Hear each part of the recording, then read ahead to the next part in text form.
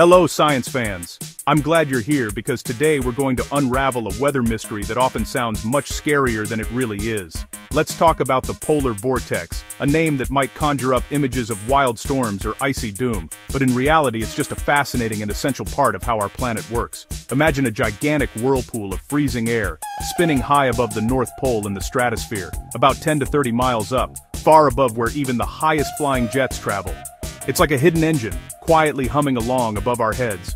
The polar vortex is always present, circling the pole year-round, but it becomes much stronger and more noticeable in winter, when the sun barely rises, and the Arctic is at its coldest and darkest. Why should we care about what's happening so far above us? Because the polar vortex acts like a gatekeeper, and what happens up there can dramatically shape the weather we experience down here on the ground. Think of the vortex as the conductor of a vast weather orchestra. When it's strong and stable, our winter weather tends to be more predictable and calm. But when it weakens or wobbles, it can send waves of cold air spilling south, shaking up our usual weather patterns. Its strength and position decide whether Arctic air stays locked up at the pole or escapes, bringing sudden, frigid blasts to places that aren't used to such cold. That's why sometimes you'll hear about record-breaking chills in cities far from the Arctic. The polar vortex is a powerful connector, linking distant parts of our planet.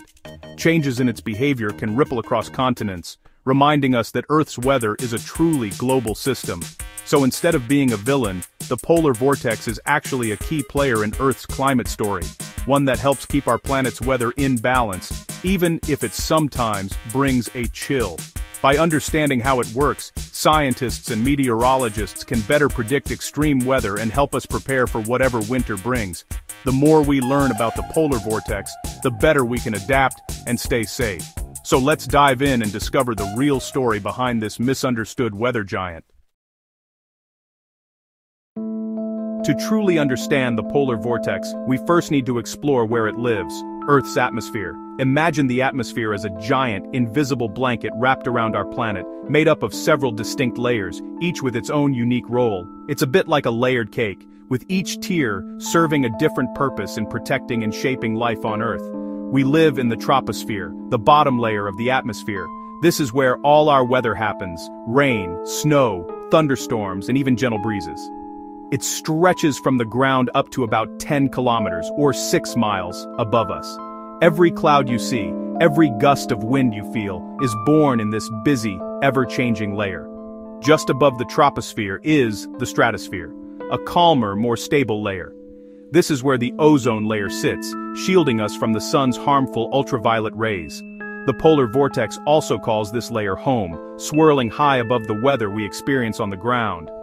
In the troposphere, temperatures drop the higher you go, which is why mountaintops are so cold. But in the stratosphere, the trend reverses.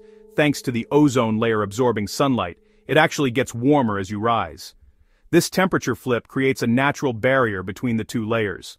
The polar vortex spins in this upper layer, far above our heads, circling the poles like a giant atmospheric river. It's a powerful force, shaping weather patterns across the globe, even if we can't see it directly. These layers aren't completely separate, powerful weather in the troposphere, like massive storms or heat waves, can send energy and waves up into the stratosphere. Sometimes these disturbances are strong enough to disrupt the polar vortex itself, causing it to wobble or even split apart.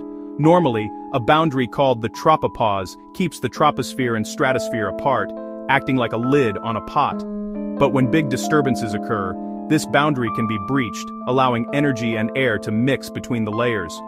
This two-way street means that weather down here can influence the polar vortex above, and changes in the vortex can send ripples back down, affecting our weather in surprising ways. When the layers mix, it can trigger dramatic winter weather.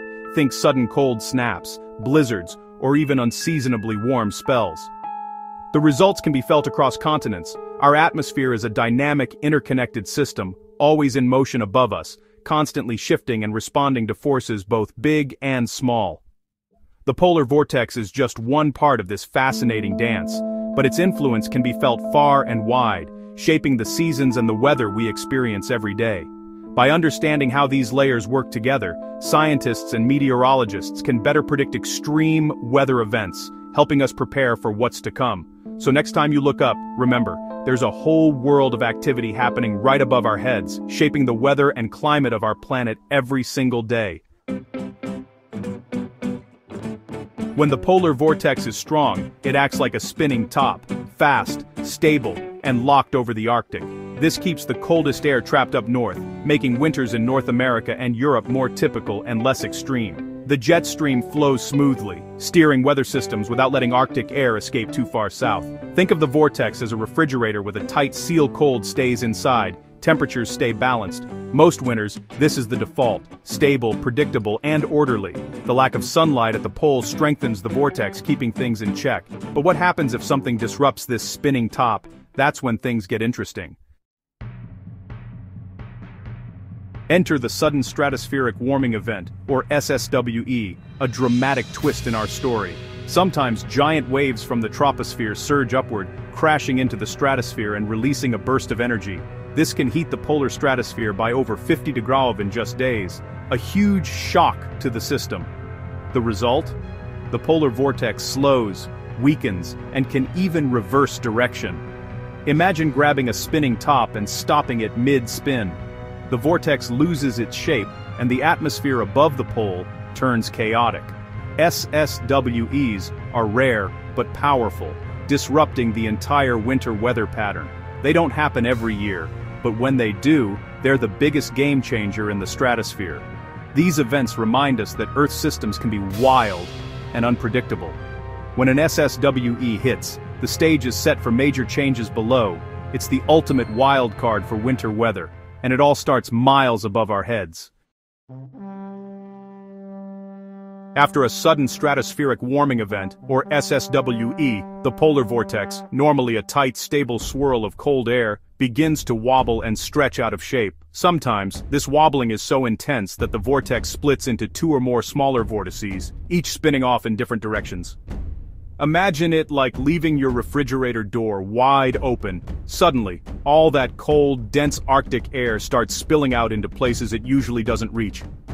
The cold air, no longer trapped at the pole, escapes and begins to move southward, spreading across continents. This frigid air can plunge deep into North America, bringing sudden, extreme cold snaps and winter storms to cities that might not be prepared.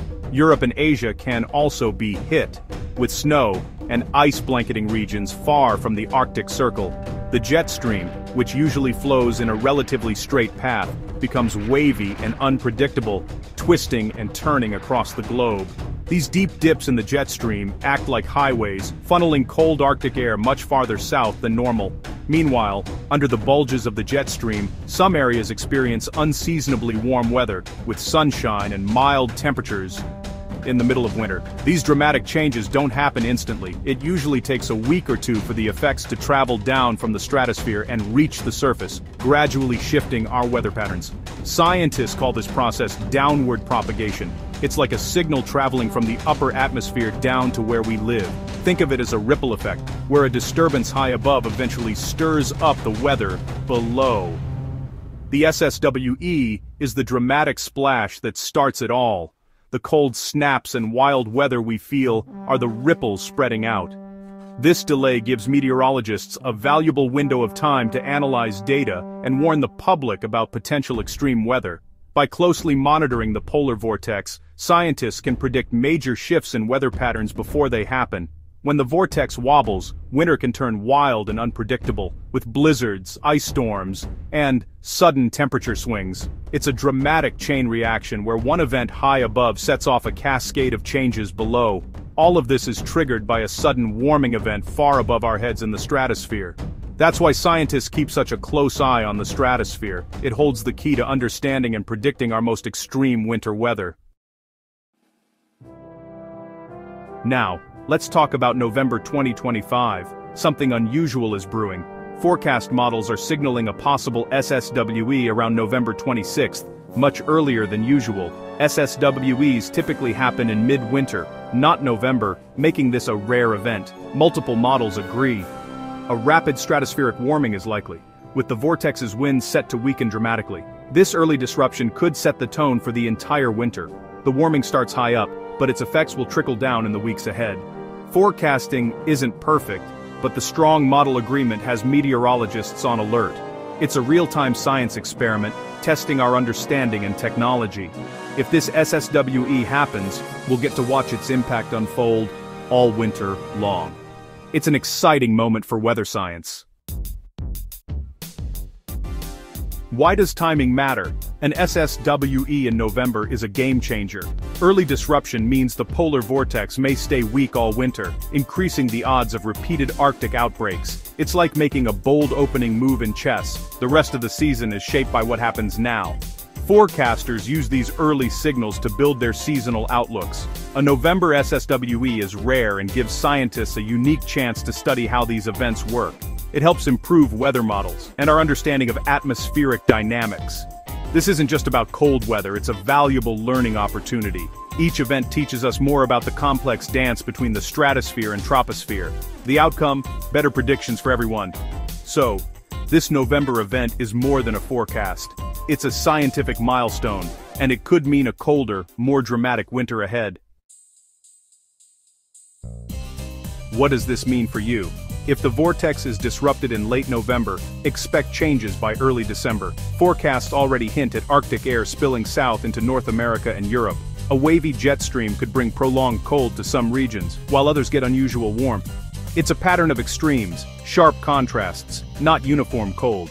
The key takeaway winter could be more volatile and intense than usual. It's not a guarantee, but it's a strong signal to prepare. Make sure your coat and furnace are ready. Even in our modern world, we're still shaped by these powerful climate patterns. Watching the stratosphere gives us a heads up for what's coming. Stay tuned, this winter could be one to remember. The polar vortex isn't a monster, it's a vital part of our atmosphere's story. Sudden stratospheric warmings are the wild cards that can flip winter on its head. By understanding these events, we unlock the secrets of our planet's interconnected systems. What happens miles above the pole can shape weather across continents. Science lets us read this story in the sky, using satellites, models, and careful observation. Every forecast, right or wrong, helps us learn and improve. Next time you hear polar vortex, you'll know it's not just a headline, it's a window into Earth's amazing climate. Curiosity and questions drive discovery. Science is for everyone, and it's very, very cool. Thanks for exploring with me. Stay curious and keep watching the sky.